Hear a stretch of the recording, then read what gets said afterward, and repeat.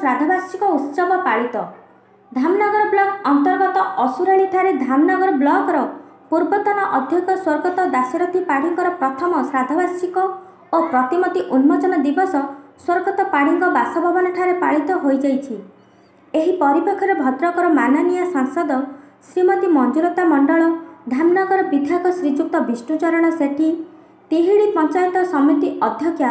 ନାରୀ ନେତ୍ରୀ ସୁଶ୍ରୀ ବିଦ୍ୟୁତଲତା ନାୟକ ଚାନ୍ଦବାଲି ପୂର୍ବତନ ବିଧାୟକ ଶ୍ରୀଯୁକ୍ତ ବିଜୟ ନାୟକ ଭଦ୍ରକ ବାଲେଶ୍ୱର କେନ୍ଦ୍ର ସମବାୟ ବ୍ୟାଙ୍କର ସଭାପତି ଶ୍ରୀଯୁକ୍ତ ରଘୁନାଥ ଲେଙ୍କା ସମିତି ସଭ୍ୟ ଶ୍ରୀଯୁକ୍ତ ହରେକୃଷ୍ଣ ପାଢ଼ୀ ଧାମନଗର ବ୍ଲକ ବିଜୁ ଜନତା ଦଳର ସଭାପତି ଶ୍ରୀଯୁକ୍ତ ଉମେଶ ଚନ୍ଦ୍ର ମହାନ୍ତି ଧାମନଗର ବ୍ଲକ ବିଜୁ ଜନତା ଦଳର ସଭାପତି ଶ୍ରୀଯୁକ୍ତ ଭାରତ ବିଜୟ ଦଳେଇ ଧାମନଗର ବ୍ଲକ ବିଜୁ ମହିଳା ଜନତା ଦଳର ସଭାନେତ୍ରୀ ଶ୍ରୀମତୀ ସୁରତି ନାୟକ ଭଦ୍ରକ ଜିଲ୍ଲା ବିଜୁ ଜନତା ଦଳର ସମ୍ପାଦକ ଶ୍ରୀଯୁକ୍ତ ସୁଶାନ୍ତ ପଣ୍ଡା ସମିତି ସଭ୍ୟ ଶ୍ରୀଯୁକ୍ତ ପ୍ରଦୀପ ମଲ୍ଲିକଙ୍କ ସମେତ ବହୁ ବିଶିଷ୍ଟ ବ୍ୟକ୍ତି ଯୋଗଦାନ କରି ସ୍ୱର୍ଗତ ଦାଶରଥୀ ପାଢ଼ୀଙ୍କ ପ୍ରତିମୂର୍ତ୍ତିରେ ପୁଷ୍ପମାଲ୍ୟ ଅର୍ପଣ କରିବା ସହିତ ସ୍ୱର୍ଗତ ପାଢ଼ୀଙ୍କ ସ୍ମୃତିଚାରଣ କରିଥିଲେ। ଧାମନଗରରୁ Sagar ପାଢ଼ୀଙ୍କ report Odisha voice twenty four